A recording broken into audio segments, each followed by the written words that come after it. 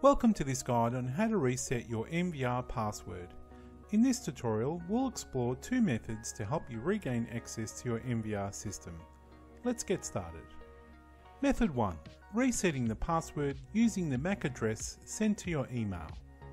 Right click anywhere on the live view screen to bring up the menu bar. Then click on the Start button located at the bottom left of the menu bar. Then click Unlock. On the password login screen, click on Forgot Password. A message will appear stating that a password reset message will be sent to the email address configured on your NVR. When ready, click Yes. After a short moment, you'll receive an email with a password reset request. This email will contain your NVR's MAC address. If you don't see it in your inbox, remember to check your junk or spam folder. Once you've attained your MAC address, enter it in the provided field, including the colons. When finished, click on Unlock. Congratulations, your password has been successfully reset. You'll see a message on screen confirming the reset. Click on OK to proceed. It's time to set a new password. Remember, your new password should be a minimum of 6 characters long and can include a combination of numbers and letters. Choose a password that you're familiar with but isn't easily guessed by others. To ensure you don't forget your new password, we recommend writing it down and keeping it in a safe place. Click Finish to complete the process. A message will appear on screen. Click on OK to close it.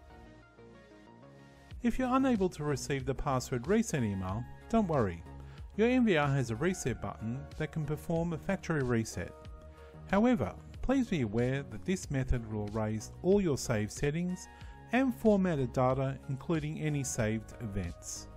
It's important to use this option only when necessary to maintain security and privacy. Step 1. To initiate the factory reset, you'll need a paperclip or a pin. Carefully insert the paperclip or pin into the port marked reset on your NVR. Press and hold it firmly until you hear 4 beeps, then release. Step 2. After a moment, a message will appear on screen indicating that your NVR is rebooting. Once the reboot is complete, you'll see the startup wizard on screen.